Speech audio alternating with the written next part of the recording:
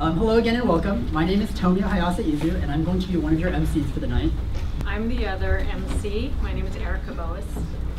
All right, and so on behalf of San Jose Nikkei Resisters, I would like to welcome you to this afternoon's program, where, where we, we will be discussing and celebrating the publication of NCRR, the grassroots struggle for Japanese American redress and um, reparations. Um, we have Richard Katsuda, who is a longtime member of the LA NCRR and retired after 30 years as a continuation high school teacher at LA Unified School District.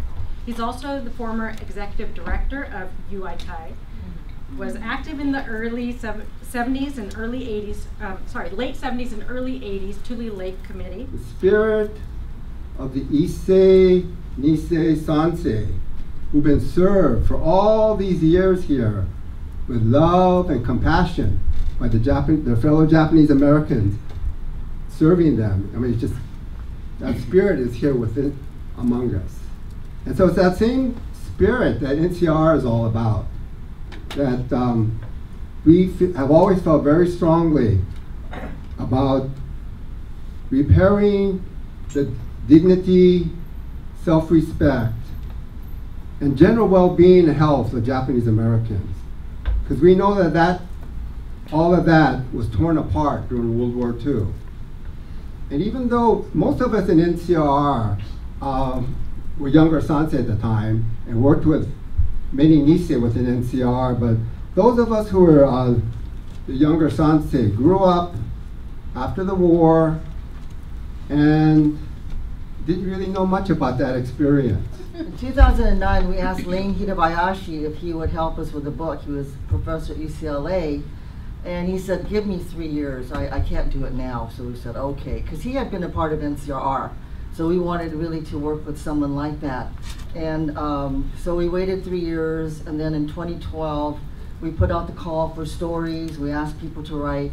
And I have to write at the outset apologize because this is a very LA-centered uh, book. But we do feel that the stories in here reflect really the experiences of all the different chapters of NCRR. People formed the Nihonmachi Outreach Committee in order to inform people and try to get uh, people in the Japanese community to uh, be involved in that. And so that was a very grassroots effort. And uh, so we were uh, ripe to start working on redress from a grassroots perspective. Um, I got involved in NOC in 1979 after going to the Tule Lake pilgrimage where people were debating uh, redress and I had never heard of such a thing, but uh, it was just kind of transformational. So our next speaker um, represents the ways in which, which arts, culture, and identity can move a community. Um, she is Tracy Kato Kiriyama, a Sansei performance artist, writer, actor, arts educator, poet, and the director and co-founder of the Tuesday Night Project in Little Tokyo. She's organizer for the Generations of War Project in association with students from Glenn Omatsu's Asian American Social Movements course at UCLA, contributor for the Through the Fire column in the Rafu Shimpo, and actor-writer with touring theater show Pull, Tales of Obsession. Let's welcome Tracy. Who are you? Older and a bit odd. A far cry from what I was used to when looking upon the J.A. Elder. They spoke in long verse, a hybrid of revolutionary and schoolteacher. My teenage mind was ravenous. I needed answers, and they looked chock full. Who are you? And where have you been all my life? All I wanted was to follow them at their heels, watch them in action, study what they studied. They were the real deal. Righteous baby boomers slayers of injustice. Modest orators with holsters toting pamphlets and petitions, they had more than circled the block. I was a tiny fool who just didn't know they had been there all along. Number three, a tanka. Flags fly afire. Practice pushes against code. Our theory grows ears. Compassion dances with rage. We let our hearts carry both. Number six, the essay.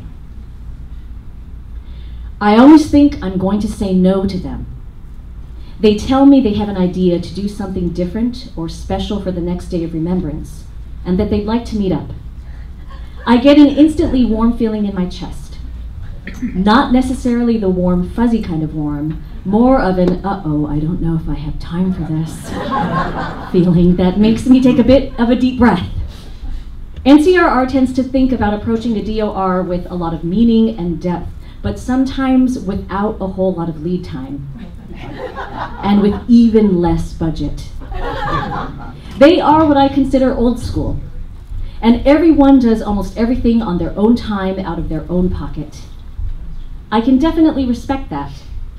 As director for a grassroots all volunteer effort called the Tuesday Night Project, NCRR has been a model for me in helping to shape the way we work, trying to do a lot with clear intention and depth, while allowing ourselves freedom from spending too much time on raising large amounts of money we'd need if we wanted to manage a staff and a nonprofit organization.